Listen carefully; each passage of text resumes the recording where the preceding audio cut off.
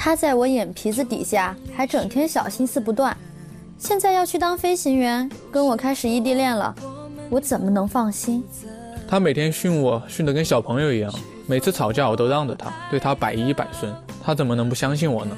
他对所有的女孩都特别好，甚至还跟前女友有联系。我们只是普通朋友，正常联系而已，是他想的太多了。他说的他自己都不相信，我怎么相信他？现在要么是他留在我身边，要么我们就分手。掌声有请这一对，有请。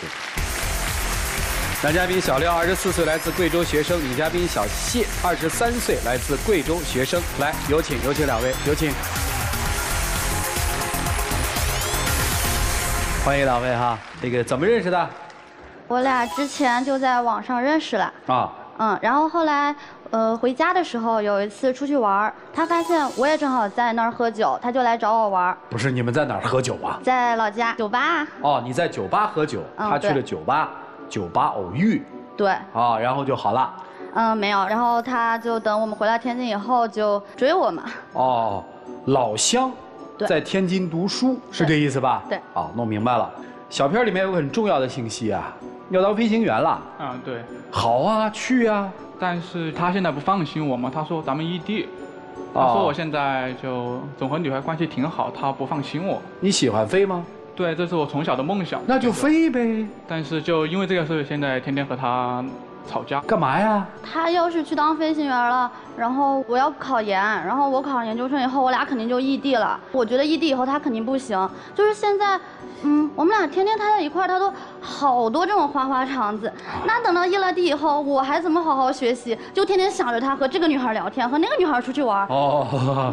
不是他现在怎么个花花肠子呢？我小片里面好像我记得听到一耳朵说，在我眼皮子底下都这是你说的吧？嗯，对。啊，他在眼皮子底下都干了哪些事儿？呃，就一开始反正我俩在一块儿的时候就觉得都挺好的嘛。啊。他对我也很体贴。啊。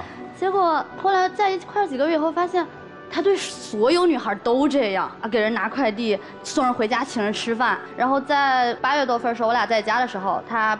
还和女孩出去喝酒，喝到半夜。然后那天我还在生他的气，啊，生他的气。他大概下午七八点去和那俩女孩三人出去喝酒，喝到差不多凌晨一点，他想起来我生气了，然后过来我家楼下说：“你下来呗。”那我那么生气，我不可能说我就下去，我就说我不下去。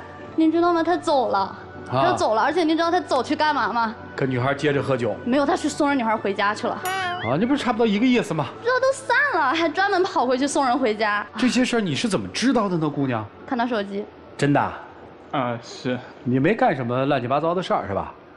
那我就不知道了。没有了，假期的时候嘛，我们是以前高中的同学，假期约出来一块喝。而且之前也有男生，只不过提前回家了而已。啊。然后最后就剩我们三个。啊。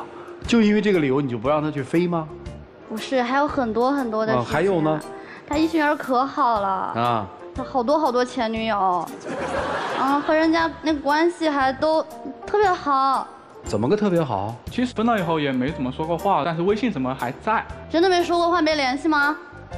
你借钱给人那事儿，你说一下。说吧。那不说也不行啊！你这到这儿了，那你完全是那个，这这就属于那个带着证据来的，你知道吗？你借钱那事儿你说一下，他其实把它翻译过来说。你把借钱给你前女友那件事儿的前因后果详详细细的说一遍。就这事儿已经不用说，我们知道他把钱借给前女友了嘛，你就详详细细的说一遍吧。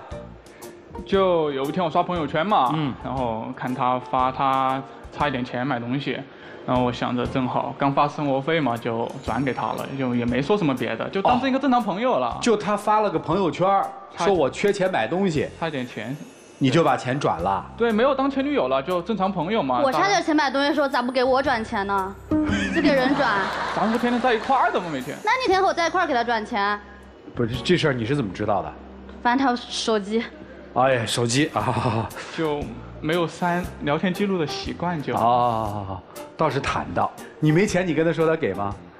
我不会跟他说我没钱，人家也没跟他说，人家就发条朋友圈说，哎，我最近缺点钱，啪给人把钱转过去了。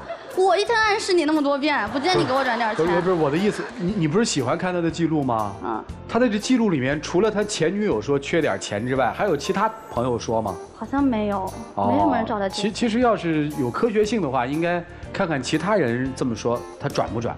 你像我们要这么说，你转吗？呃。应该不会吧？啊，你像左老师那样的美女，要是说你转吗？转。你看，倒是坦荡，所以这就是女孩担心的地方，是吧？嗯。可是你喜欢的不就这么一个男生吗？就是我俩每次一吵架，因为这件事情吵架，他就还还是挺体贴的，而且就认错认的非常非常好，嗯，特别虚心的认错，但是坚决不。